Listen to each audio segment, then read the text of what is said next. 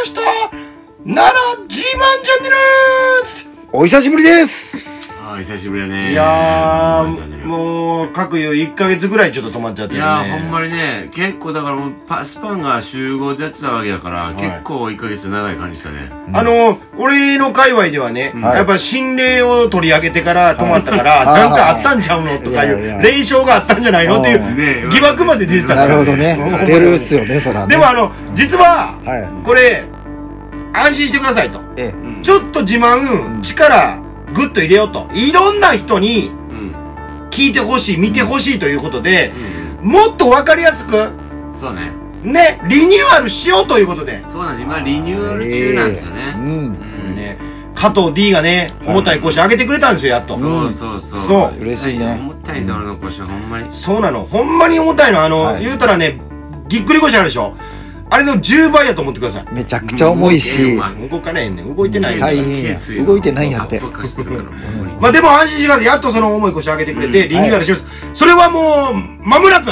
そうね、もうしばらく。でいいのかな？お待ち、お待ち、もうしばらく。うん。で、こう、はいこうご期待してください。ただ、じゃあなんで今日やんの？と。なんでまで言ってます、うん僕は。すごいなんでやんの？うんそれはです気になねったけど。気になってますか？うん。奈良初のですね女性総理大臣が誕生するかもしれないよって言った話。ああ、ええ。はいはいはいはい。高市さんね。そう高市早苗さんでございます。あああ、なるほどなるほど。思い返せば日本の最初の女帝水古天皇。うん。あの592年から。返しすぎや。ああ、はいはいはい。思い返しすぎや。思い返して奈良の女性リーダーが現れるわけですよ。うん。奈良から。ねそう。1300年の時を。経て。そうなったら嬉しいです300けど。でもないよ。592年から始まってますから。じゃあ1700年。嘘うんそうはすごいな。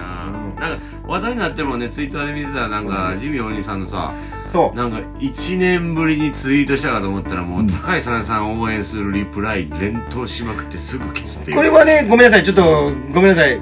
ほんま高橋さんさん応援したいんですけど、はい。ジミーおじさん側に入ります。えはい。これ多分乗っ取られてます。あの人あそうなんだ。乗っ取られてるパターンね。なんか。すぐ消えたらしいから。いや、なんかでも素でもやりそうじゃない？まあまあまあまあ。ジミーさん僕追いかけてるから確かに数でやってさんまさんに怒られて消したっていうパターンもあるあるんかなとは思うんだけど。はいはジミーさんやったらありがとうございますね。でも、うあのまだニュースになってないです。ジミーさんがあの声明は出てないい。んああ、でそういうことね、そういうことね。そうそうまあまあ、謎、まだ今まだ謎めいてますですね。はいはい。はい。怪奇現象ですまあでもジミーさんが推してるっていうのはうん。確かなのかもしれない、はい。わかんないですが。もう一個ちょっと明るいのとこ行きますと、はい。はい。やっぱこんだけね注目されてるんでニュースになってるんですよ。うん。でニュースをこれギュッとしてくれてるのが SNS で飛び交ううん。うんうん。お肌ツヤツヤの理由について迫ってくれてるんです、はい。高井さんのそうお肌の。すごいな。節約の理由そう。ちょっと気になるにけど。迫ってんのそう。これのニュースが。んのなんでやねん。あのー、これニュースのこと言ったらあかんからあれ。ねまるまる漢現代がやってくれてるんですけど。ああもう分かったな、るうん、現代でも分かったな。いやいやっていうところがやってくれてるニュースなんですけど、ええはい。目元が変わって二人になったように見えるとか、うんうん。素敵なね、へうん、ー印象変わっなんか最近あれ？しばらく見ない間に変わっ印象が変わったんだ、うん綺麗になりかなりました。顔が変わった印象がするんだけどつって、うん。うん。政治家のやぼったさがなくなりましたね。明るい印象になったってそうそうそういうこと言ってんの。これはまああのー一番多分注目してもらいたいのはこのニュースには書いてないんですけど、はい。他のサイトには口コミには結構あるんですよ。あの眉をー。うん。えー眉毛を実は疑惑うん疑惑があるんです。整形したんじゃないかって言って眉毛を整形？はい。まあ簡単に言ったら眉アートです。アートね。そうそうそうそうそう。形をね。はいはいはい。うん。おしゃれなやつだ。そう。かのいううちのおかんも、はい。あのやってます。眉入れてます。ほんまです。ほんまか。でもめっちゃ楽になったっつって。いやあ楽そう。化粧がやっぱ眉がやっぱ手元狂ったらちょっとでかな。るやんか。それがなんかなくなったっ毎回だから形変わるのが嫌やったからね。そうそうそう。なるでしょうからね。それでやっぱキリッとした顔に高橋さなさんもなったんじゃないかっていう。どっちまだこれもジミーさんと同様、声明は出ておりません。だからまだ分かれて疑惑のままです なるほど出さねへんねんいちいち。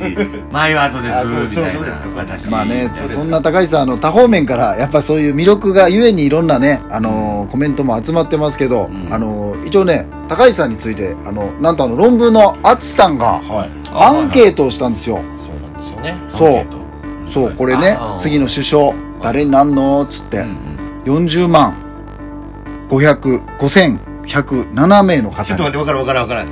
なんてなんてなんて。数字読める数字がわからんかったけど。何何もう40 40万万5千。5107人の方にね、はいはいはいはい。アンケートさせていただいてまあ、ぎこれあれやね。総裁は正直一般の声はうん届かないんですけどね。そうなんです政治家さんの票ですから。そうそうそうそう届かないですけど民間票ですうん一般の人はどう言ってんのよ？どう思ってんの？もうね1位高市早苗さん57%が支持しておりますえ50のやっぱもう半数以上やん。そうなんです。2位の河野さんが27%なんですごい差つけてるんですこれほんまに政治家さんにこれ、このままスッとはい移行したたら、らもう首相が高市さんになるって当ことだよね。選ですよ。なるほどなるほど。うんということなんです。まあそうやね、だから論文淳さんのだからフォロワーとかなったらまあ年齢まあまあ若いからかもしれんけどね。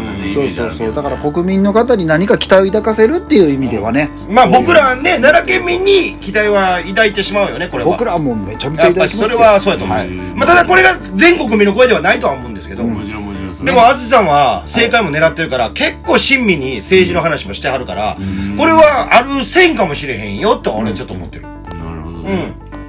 このままそのイメージ通りいくかもわからないってことね、そう。いや、ちょっと、気になりますね。そうですね。うん。ねもういつなんそれ、うん、これがね。9月の？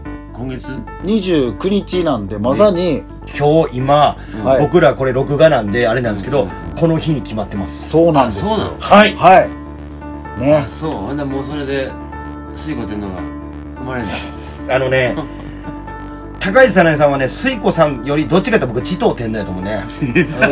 愛を、愛を解く人やと思ってるから。難しい奈良時代の話はもうええからそう、そのためにリニューアルすんねんから。何してんの？そうそうそう。分かりにくいとこ行ったら。いつかね分かりやすく取り上げたいと思います。お願いします。はい。ということでね、またあのー自慢の方は、もうちょっとだけ待っていただいて、はい。えーえー次回、また楽しみにしておいてください。ということで、次はい。回お会いしましょう、ありがとうございますしいことにあるよ。